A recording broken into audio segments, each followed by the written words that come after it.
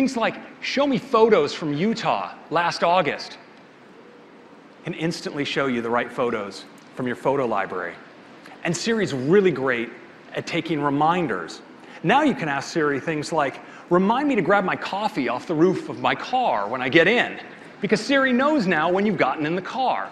So Siri is a great assistant, but the best assistants are proactive. And so in iOS 9, we're bringing proactivity throughout the system.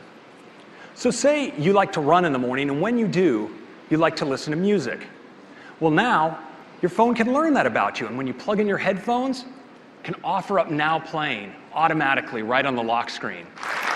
And this is all context sensitive to the time, the place, and even the devices you're connected to. So you do the same thing in the car later on, and it might offer up the, e the uh, audiobook that you've been listening to.